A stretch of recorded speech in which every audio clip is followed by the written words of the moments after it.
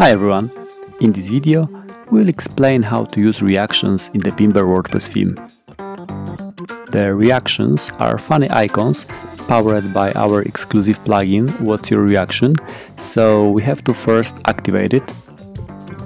To do so, please navigate to the dashboard, plugins, find the What's Your Reaction plugin on the list and click Activate.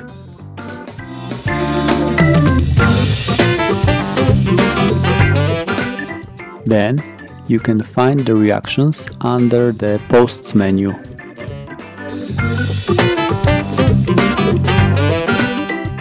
We've already added some reactions, but let's add another one.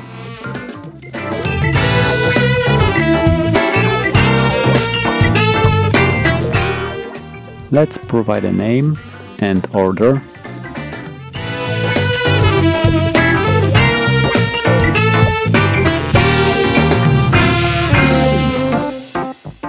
As you can see, you can upload your own icon too, but in this tutorial we'll stick to the ones we have. Reactions are set, so let's get back to the front end and open a post.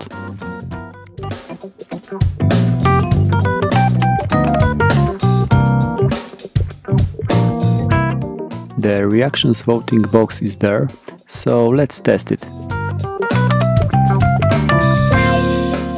Now let's check where we can display our reactions.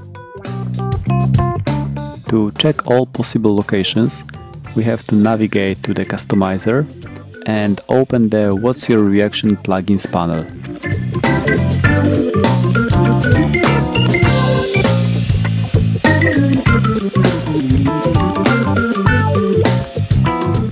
Let's enable all the locations and check where the reactions will show up.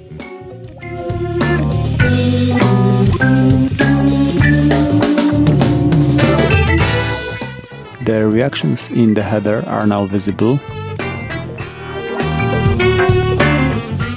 To show the reactions in the collections, we have to open some collection, so let's move to the home page as an example.